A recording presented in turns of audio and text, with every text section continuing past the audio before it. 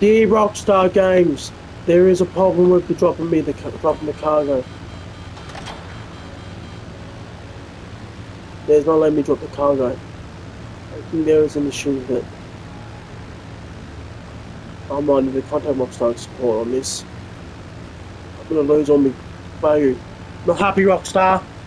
I can't drop the product. The special cargo won't drop. There seems to be a major problem. I'll send this through to the members in a sec. I'm afraid I'm gonna lose on me. Hold up. I'll change the session. Nah, don't let me drop the cargo.